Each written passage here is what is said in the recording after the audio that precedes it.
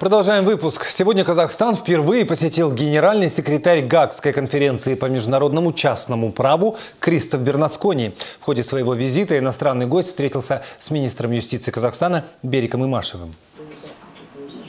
На встрече, посвященной принятию новой Гаагской конвенции, отменяющей требования легализации иностранных документов, участники говорили о процедурах усовершенствования апостилирования документов, проще говоря, получения единого штампа для подтверждения действительности своего документа за границей. Прежде казахстанцам приходилось проставлять печати нескольких госучреждений.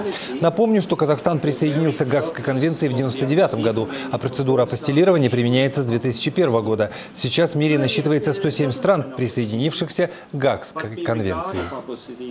Вы проставляете этот штамп единожды, и он будет э, признан во всех 107, 107 странах без дополнительных каких-то еще требований.